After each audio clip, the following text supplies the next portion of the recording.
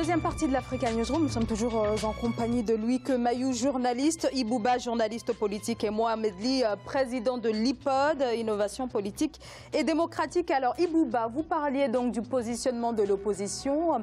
Est-ce que par ailleurs, cette opposition n'a pas également sa responsabilité dans le fait que finalement la rupture euh, ne pourra pas aboutir au Zimbabwe Il n'y a pas d'entente en fait entre l'opposition. Donc voilà, le principal opposé, le principal opposé donc euh, qui, pouvait être plutôt euh, euh, qui pouvait qui pouvait quand même qui cerne plutôt donc la manne politique dans ce pays-là est décédé. Donc maintenant les autres il n'y a pas une certaine entente qui, qui est entre eux. c'est sûr que ça sera fugace dépensé sans lendemain et nous savons tous qu'aujourd'hui donc ces élections là donc ça sera ça sera dès le premier tour donc voilà vous allez voir les résultats et ça s'affirmera comme tout le monde le pense.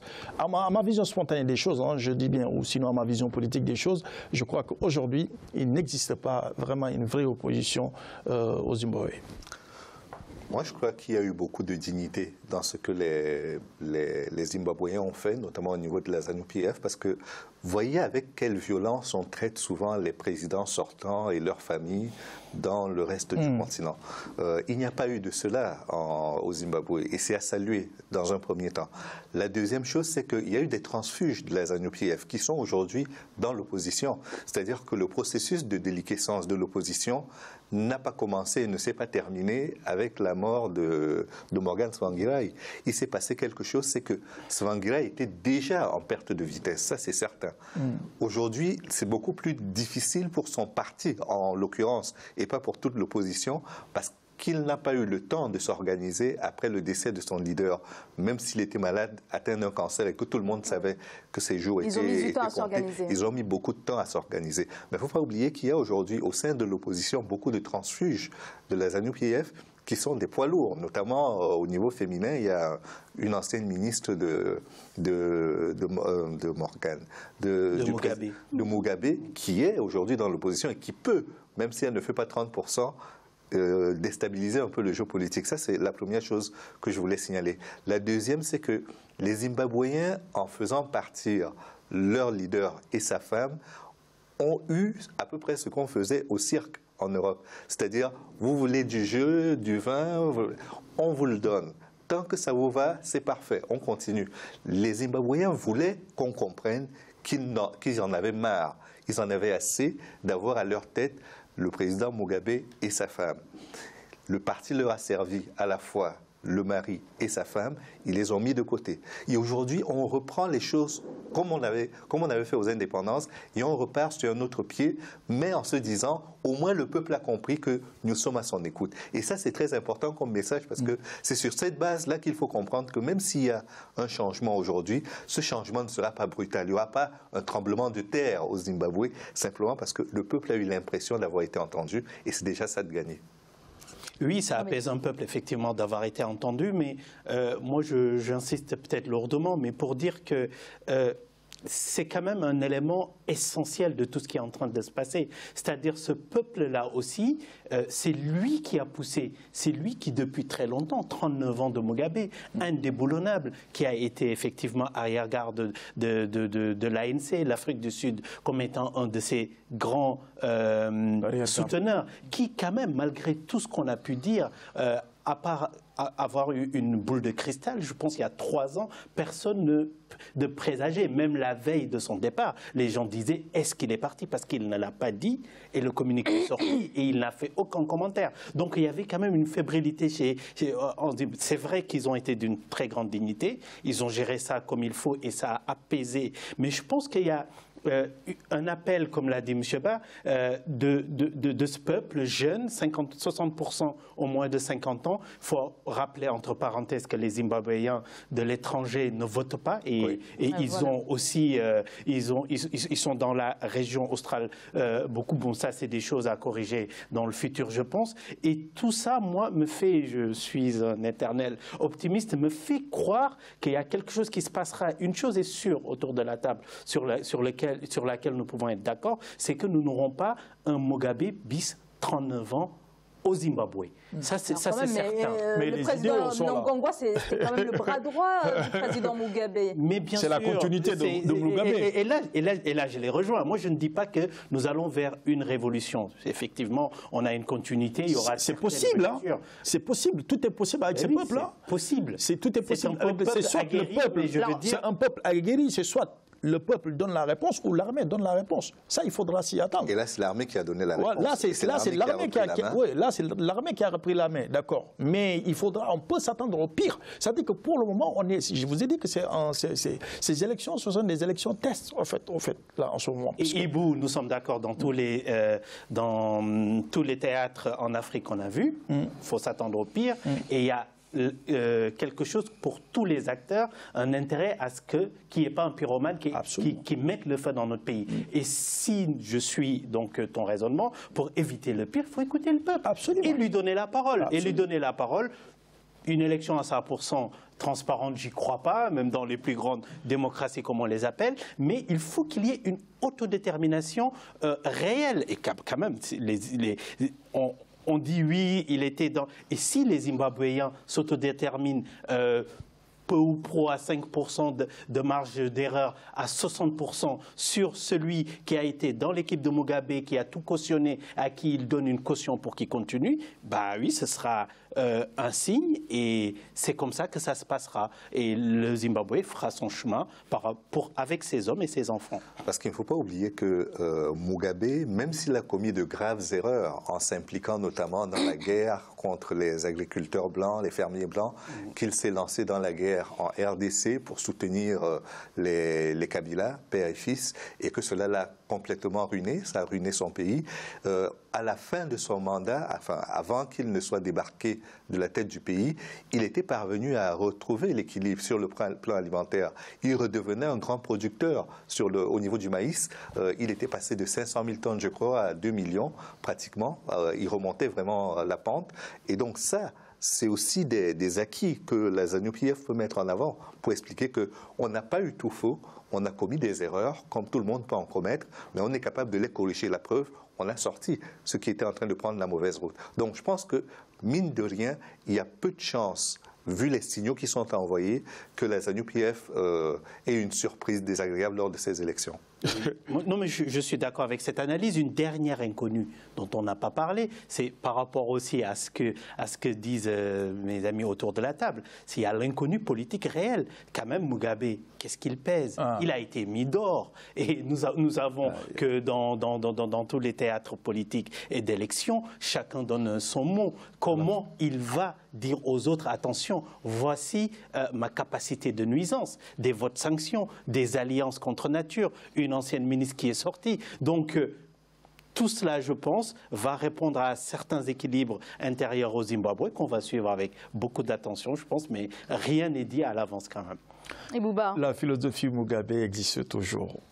Mugabe, l'idéal Mugabe existe toujours.